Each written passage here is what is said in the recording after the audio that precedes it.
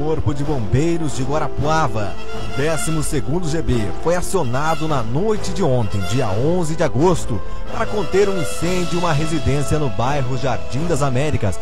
Uma casa de madeira foi consumida pelas chamas. O Corpo de Bombeiros chegou no local e não havia vítimas, só apenas danos materiais.